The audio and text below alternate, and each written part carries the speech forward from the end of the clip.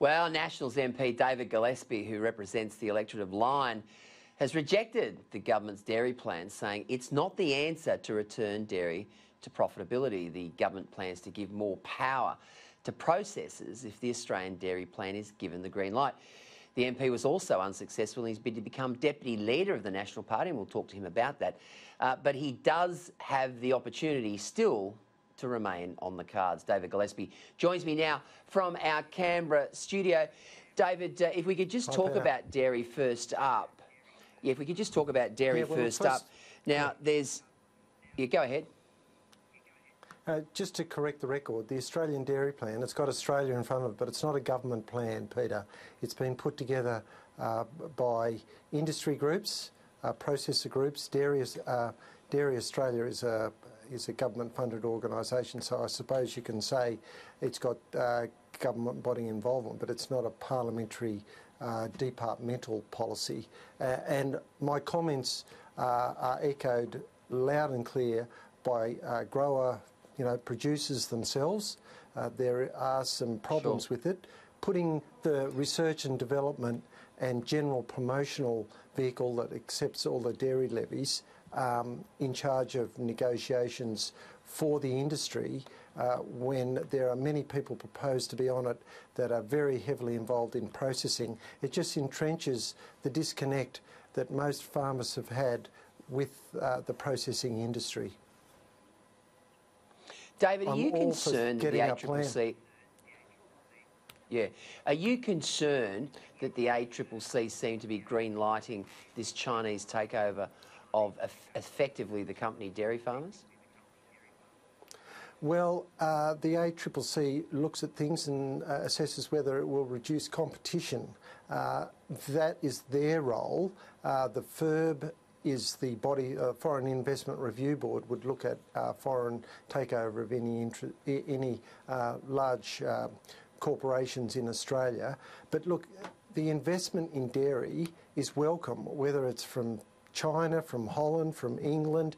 Uh, the biggest dairy uh, holding in Tasmania for years was owned by a New Zealand local government um, super fund uh, and before that, UK uh, interests. So having uh, mm. foreign investment is the important thing because it's investment and the investment dollars land here and the expansion of dairy is what we're all about.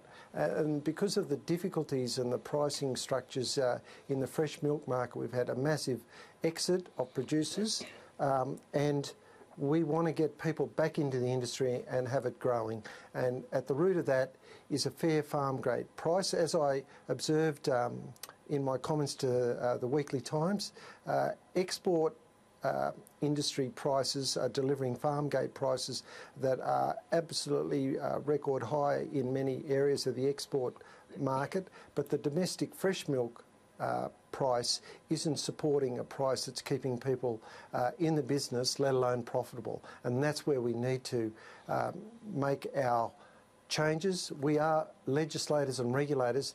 The Dairy Code of Conduct is now mandatory, uh, and all contracts between producers and processors will have to be uh, dairy code compliant by the end of the year. That's going to enable massive changes. And there's also another initiative, the Australian Milk Pricing Initiative, which is setting up the contract structure so that uh, dairy uh, farmers uh, can sell onto a market structure and have um, sales to second and third parties besides their initial and their uh, processing uh, company that is picking up their milk. So that will be a great uh, initiative. It will mean that farmers aren't stuck with one customer uh, for years or more at a time. So between the Code of Conduct and the Milk Pricing Initiative, we should see a much better market uh, for selling milk and a better deal for farmers. David, can't come soon enough. Sure. Dave, yeah, exactly. All right, now bushfires. 37 homes destroyed yes. in your electorate of Lyne.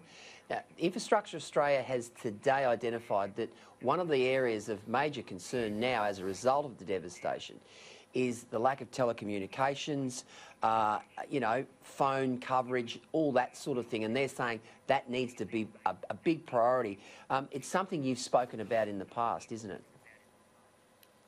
Yeah, look, uh, in my electorate there are actually more than that, Peter. It's about 150 houses that were either destroyed or burnt. I think those 37 figures were for the part of the uh, Lyne electorate in the Hastings Port Macquarie, but in Mid Coast Council it was a massive um, uh, crisis. We had fires west, south, and north from Taree, and uh, 240,000 hectares in the end. So look at it, but we were fortunate in in one regard they happened in November when it wasn't as hot, and we had all those wonderful people concentrated in one area rather than what rolled out subsequently with uh, you know huge fires in South Australia and Kangaroo Island uh, and down the south coast and into Victoria.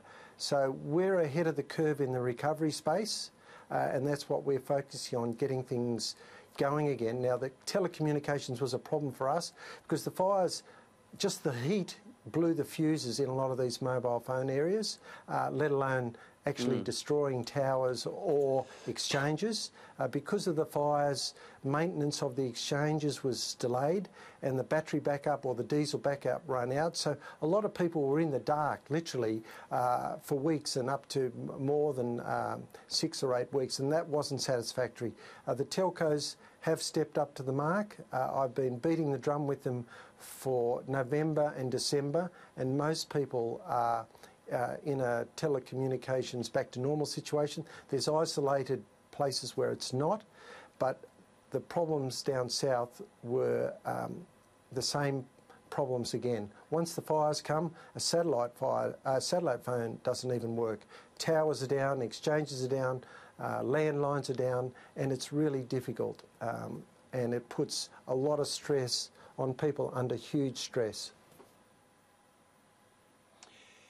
David, I know you've copped a bit of flack uh, from these climate change evangelists who often protest outside of your office, but when we have a look at this commission of inquiry into the bushfires, it's not a binary yes. argument, is it? I mean, you know, we, we know that climate change is, is having an effect on the way in which uh, these bushfires uh, happen, but the backburning and the mitigation measures that we've uh, done so well in the past, we've clearly dropped the ball on that. How important is it that this particular uh, inquiry ensure that we look at those backburning measures? Yeah, exactly. Well, backburning is part of um, actually fighting a fire. Um, where you turn a fire back on a fire to stop it in its tracks. Uh, but hazard reduction burning um, was a practice that Aboriginals have done for thousands of years. Our early settlers mm. copied them, our early farmers copied them, and state forests, who used to manage millions of these acres that are burnt, uh, at least in New South Wales, were turned into state forests, or uh, state forests were turned into national parks or state conservation areas, and a lot of those hazard reduction burns that were done biannually or every three years meant you had a low level cool burn that cleaned out the, um, the floor of the forest uh, as well as encouraging flora diversity. These low level burns didn't kill hundreds of thousands of animals and didn't destroy really good timber stands. Uh, also, the forests, uh, by their very nature, were harvested every 20 or 30 years, so they were thinned out naturally, and that encouraged regrowth and flora and fauna diversity. Now, a lot of these practices were put by the wayside when uh, national parks took over. A lot of the forest trails were closed.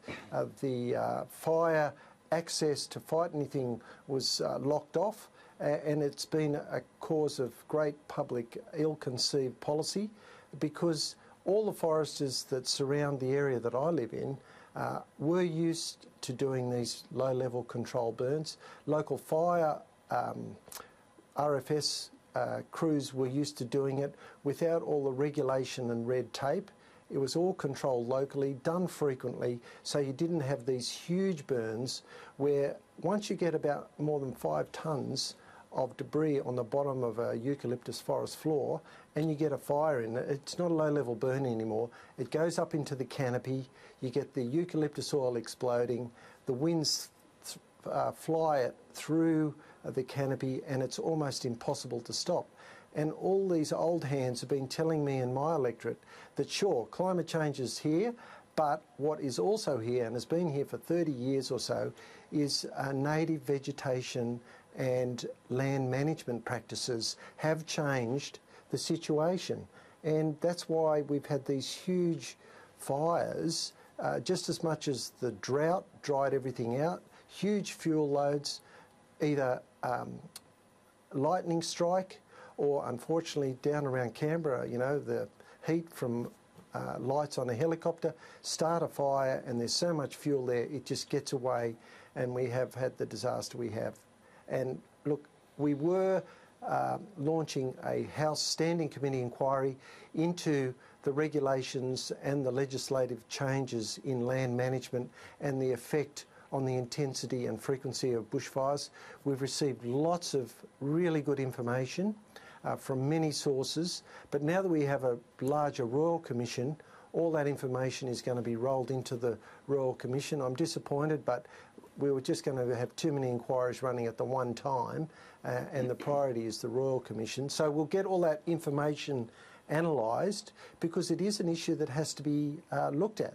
Now, the Royal Commission's got a different set of terms of references, uh, and we're looking at the coordination and how the federal government should get involved uh, and under what terms, because during the emergency, everyone was calling for the federal government to be involved. But the way the federation mm. works, we have to be invited by the states, and that's what not a lot of people mm. appreciated. So that's one of the focuses, and improving our preparedness and resilience for national disasters is sure. the other uh, focus of it, and that will involve preparedness and regular um, low level cool climate burns uh, on a widespread scale uh, with increasing frequency if we're going to return to the days where we didn't have these huge ones like we've had recently.